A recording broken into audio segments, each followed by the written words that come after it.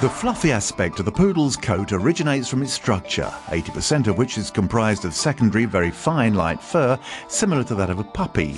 Once full grown, his coat becomes thicker while basically maintaining the same curls as puppy fur. Frizzy, curly or twisted, the fur is dense and especially pleasant to the touch. It has the particular characteristic of growing continuously by 10 to 14 millimeters per month. It is important that the poodle's diet provides amino acids that are essential for synthesizing keratin, the main hair protein.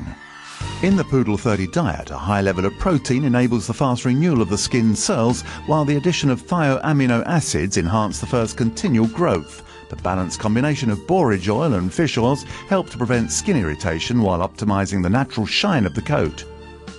Furthermore, a complex of five nutriments, four vitamins, and one amino acid strengthens the efficiency of the skin barrier.